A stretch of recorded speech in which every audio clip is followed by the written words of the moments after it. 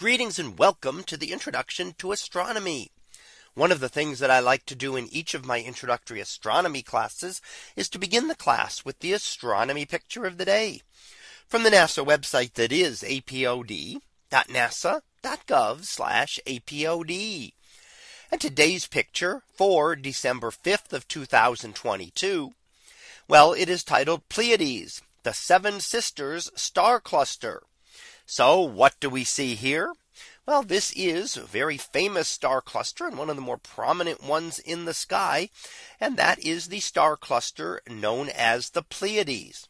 This is a prominent winter object easily seen in the winter time. Uh, it's very close to the constellation of Orion actually located within Taurus. And it's an example of an open star cluster, which is a relatively young star cluster, but it's very bright and easily visible to the naked eye. However, the detail we see here with all of the dust scattered around it is due to it being a very long and deep exposure.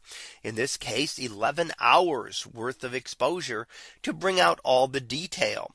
So while the stars can easily be seen, the dust is much fainter and requires longer exposures to really pick up all of the details here. Now it's an example of an open star cluster that is an, a cluster that is not gravitationally bound together. And that means that these stars are slowly spreading out. So over the next say 10 to 100 million years, they will slowly spread out into space and disperse, and we will no longer see them as a star cluster.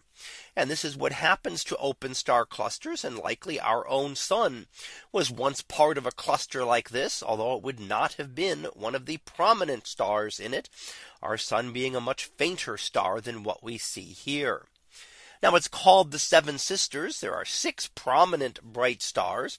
And the question is maybe there was a seventh one, but one of them has since faded and no longer visible. Or was it just close enough to seven stars to get it named that uh, going back to the ancient legends. So we see again the Pleiades star cluster, something that you can relatively easily see if you know the right direction to look in the winter sky.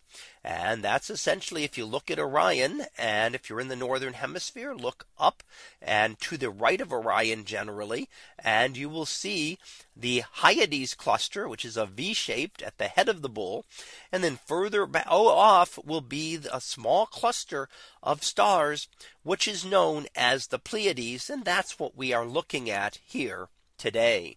So that was our picture of the day for December 5th of 2022. It was titled Pleiades, the Seven Sisters Star Cluster. We'll be back again tomorrow for the next picture.